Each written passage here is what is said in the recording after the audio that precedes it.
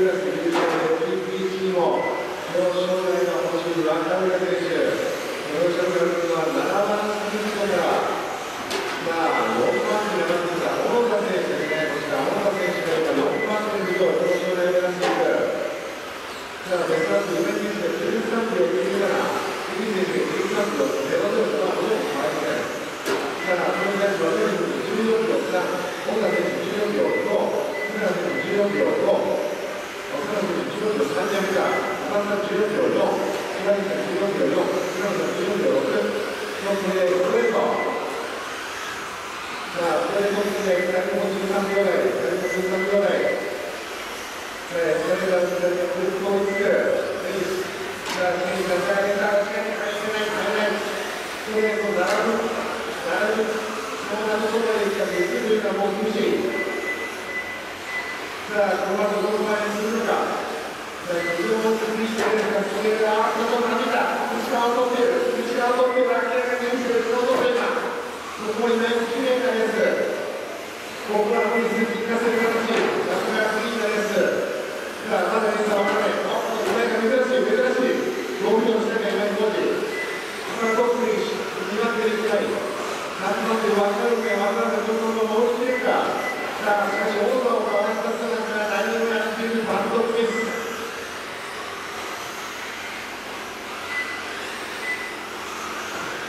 か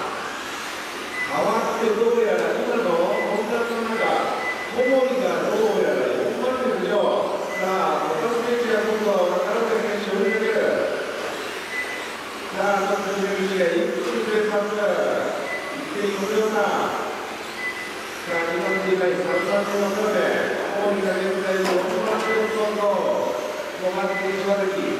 6番手の勝ら7番手の方が من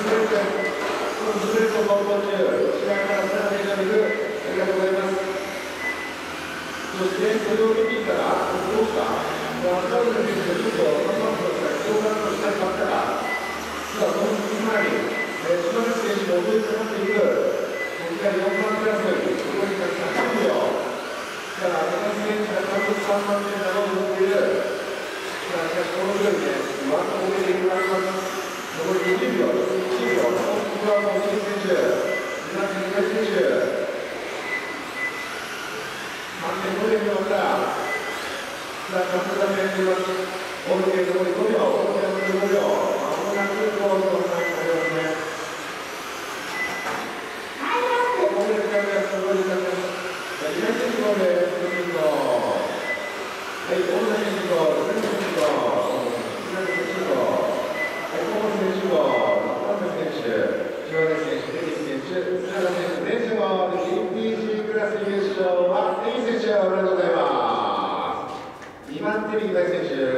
方、小森選手が3番手以上、中選手は悔しい4番手フィニッシュ。